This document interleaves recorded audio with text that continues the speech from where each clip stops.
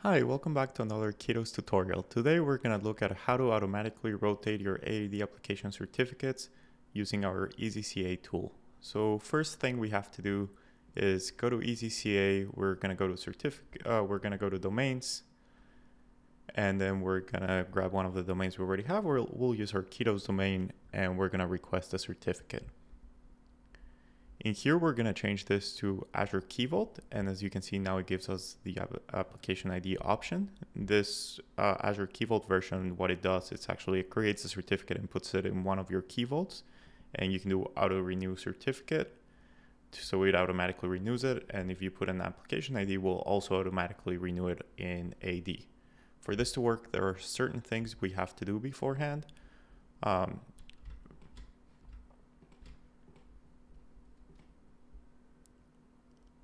First thing we have to do is go to the Azure app. And in here we can select whatever we want. We're going to use this one. And we have to ensure that in API permissions, it has the application rewrite owned by. This will give it permission to renew its own key. After that, we just go here, copy the application ID, go back to the portal, paste it, and we request a certificate. Now we have to download the certificate.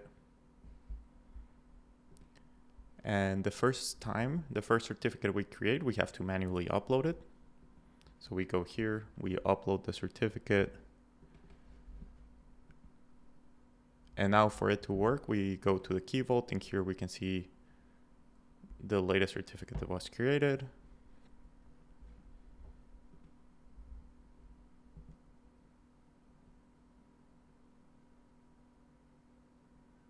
We see the latest certificate that was created.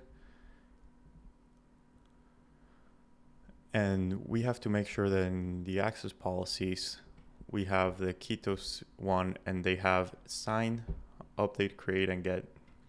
We use the sign because we have to sign the the new request with the existing key to that's one of the Azure requirements. So now all we have to do is go back here to our certificates, get the latest certificate get the latest certificate that we created, click renew, and now EZCA went and created. So if we refresh this, now we're gonna have nine certificates.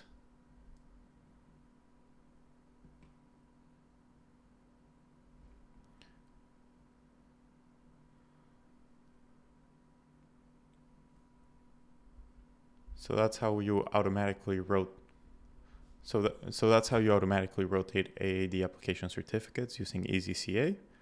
And